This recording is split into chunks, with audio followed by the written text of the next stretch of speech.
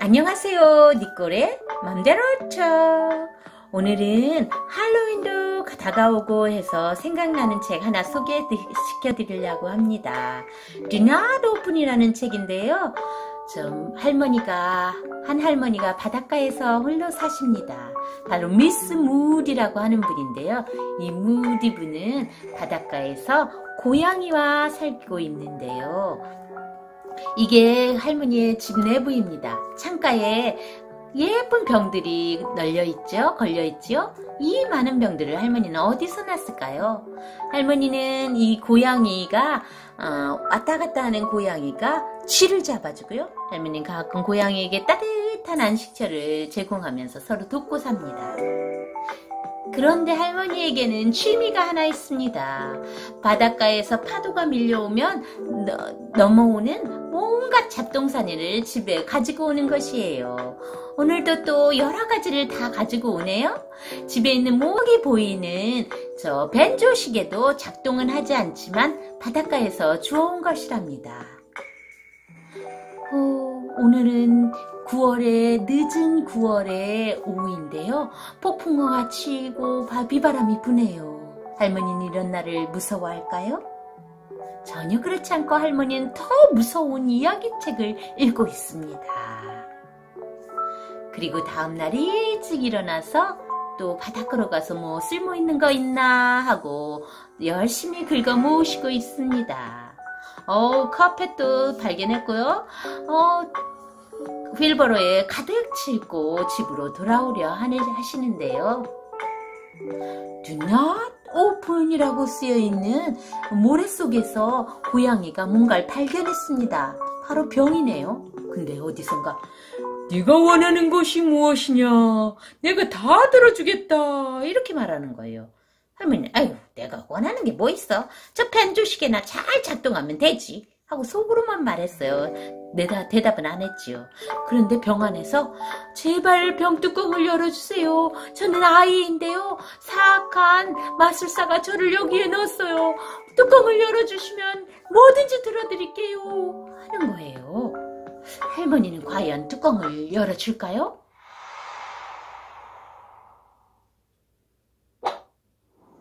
탁 하고 할머니는 뚜껑을 열었습니다. 그랬더니 검은 안개 같은 먹구름이 나타나더니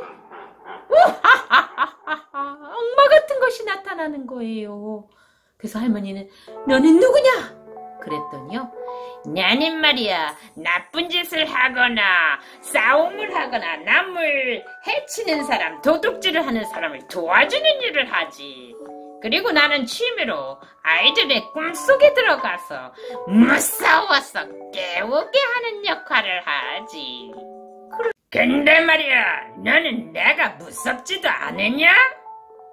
악마가 이렇게 묻는 거예요.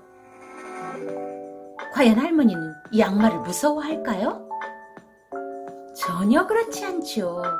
외딴 섬에서 혼자 살았던 할머니는요, 전혀 무서울 게 없습니다. 딸기를 왜 무서워해? 하나도 안 무서워. 아!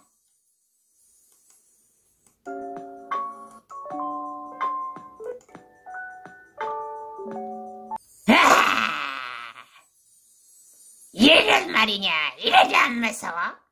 이렇게 변해도 전혀 안 무서워?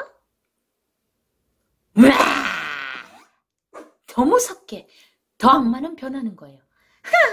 아무리 변해보라지 내가 무서울 게 뭐 있어? 야!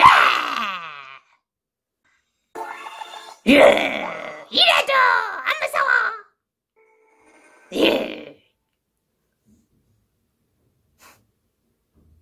흥, 암만 무섭게 해보라지 나에겐 무서운 거 하나도 없다고. 와! 악마는 더 무섭게 변하는 거예요.